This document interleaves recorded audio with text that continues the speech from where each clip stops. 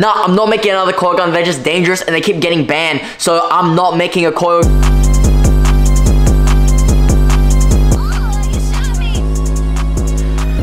Alright, let's do this. First, start off with a 3D model. As you can see, it's so beautiful.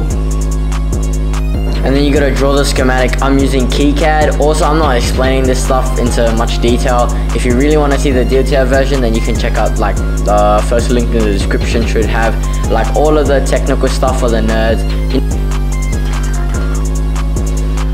First you need a battery, then you need a boost converter, and then you need a capacitor, not that little one, this massive one right here. And bang, this is Coilgun 1.3 and as you can see it's quite beautiful. As you can see these are all my bullets. They're six millimeter in diameter and all quite beautiful. Some of them are spray painted red just so I can see them so I don't lose them when I shoot them. And one of them is my superstar and that is my sharpened bullet. So now that we have our bullets and our coil gun let's go shoot this thing. So to use the coil gun get the drill battery and put the drill battery in the coil gun. Right. And then you put the bullet in the coil gun. For protection and now, three, two, one. That is pretty nice. In one way and out the other. Now that was pretty cool, but like, I gotta shoot this thing more.